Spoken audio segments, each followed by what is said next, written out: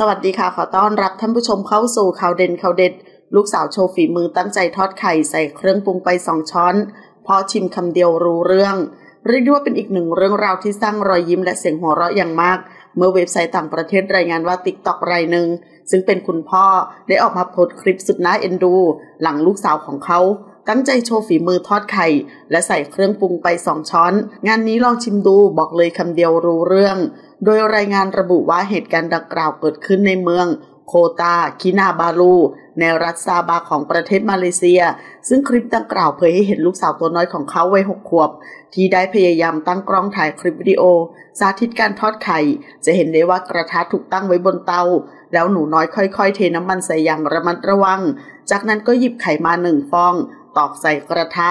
ก่อนที่จะตักเครื่องปรุงสีขาวสองช้อนพูนใส่เข้าไป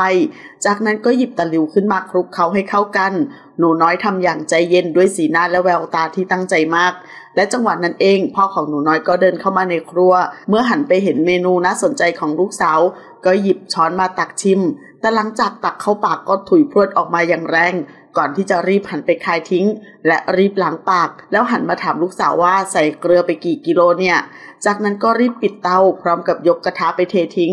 ด้านลูกสาวได้แต่ยืนมองสถานการณ์อย่างไร้เดียงสา ไม่รู้ว่าทำอะไรผิดไปตรงไหน